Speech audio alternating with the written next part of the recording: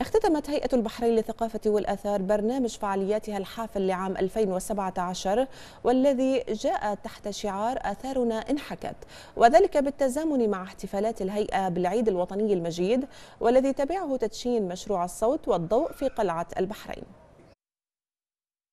منذ ذلك العصر الذي كانت تسمى فيه البحرين ديلمون وحتى العصر الحديث ذلك الخط الزمني الذي شهد أحداثا تاريخية متسلسلة إلى أن أصبحت البحرين خليفية تحت قيادة الخليفة الكرام.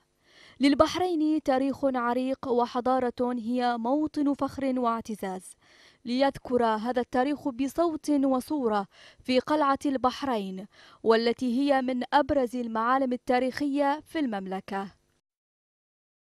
هو العرض الأول لمشروع الصوت والضوء المشروع الذي آه، يدشن اليوم بقصة الموقع. هذا العام نحتفل بآثارنا أنحكت وفي العيد الوطني المجيد نبارك لشعب البحرين ونفتح هذا المشروع لكي يكون مصدرا لجذب سياحة ثقافية وأيضا لسرد حكاية الموقع. بدءا بدلم الأولى إلى الفترات والحقب التي تراكمت على هذا الموقع. اليوم يوم العيد الوطني. في البحرين. عيد 46 وعيد جلوس جلالة الملك حفظه الله. والفرحة بعد اكتملت بهذا افتتاح هذا العمل الكبير الصوت والضوء على قلعة البحرين ليحكي تاريخ البحرين وتاريخ القلعة على عدة مراحلها. وقبلها محاضرة الدكتور زاهي حواس اللي حقيقة يعني لا أنساها وأثرت معلوماتنا كثير. يزيد فرحتنا ويأكد لنا أن البحرين هي دائما كانت القلب. قلب الخليج ميناء العالم أرض الخلود يعني وستظل معطاءة. هذا الشباب البحريني شوفهم يشتغلون كلهم هني. وراح تظل معطاءة وراح تظل هي القلب.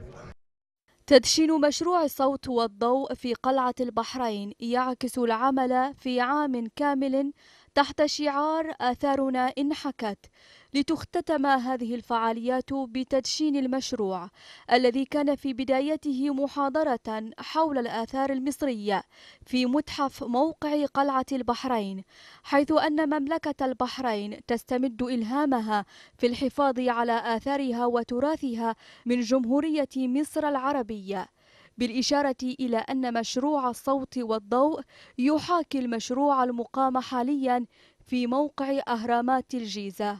النهارده اللي أنا شفته آه، يعني بيحكي قصة البحرين والقلعة والكفاح اللي حصل منها بالدفاع عن البحرين وحضارة دلمون والحضارة حتى الآن الحقيقة مبدع سيناريو على مستوى عالي.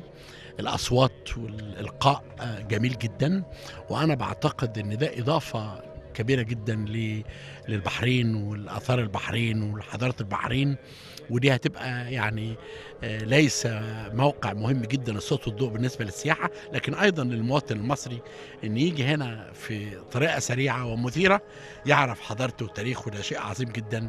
أنا بقول إن ده من أحسن العروض الصوت والضوء اللي أنا شفتها في العالم العربي. للبحرين سجل تاريخي وآثار عريقة وما الآثار إلا أهم ما تملكه الأوطان وهي من أهم عناصر صناعة السياحة الثقافية وسجلا تاريخيا يجب الحفاظ عليه والحرص على أن ينقل إلى الأجيال القادمة. ضمن فعاليات هيئة البحرين للثقافة والآثار احتفالا بالعيد الوطني المجيد وعيد الجلوس. يقام هذا العرض التفاعلي المميز بالصوت والصورة ليحيي تاريخ البحرين عبر قلعة البحرين. إيمان شرف لمركز الأخبار تلفزيون البحرين.